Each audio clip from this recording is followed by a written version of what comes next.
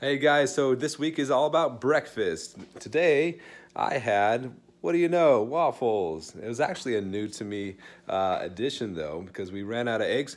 And so I had to add a bit of our Pro Mix protein powder to up the, the protein content because we can't just have some regular waffles. And then I also added our lactose-free milk in there for another boost of some more protein. So protein upon protein. Um, I know this sounds very broy, but um, I do uh, appreciate and respect that. When I work out, I need to have a good amount of protein to recover my body. So um, this was a new one. Protein Pro Mix uh, was also a pumpkin or a can of a can of what is that? Pureed pumpkin and a whole crap ton of cinnamon too, because uh, Jess likes cinnamon. They're already buttered, uh, melted on there.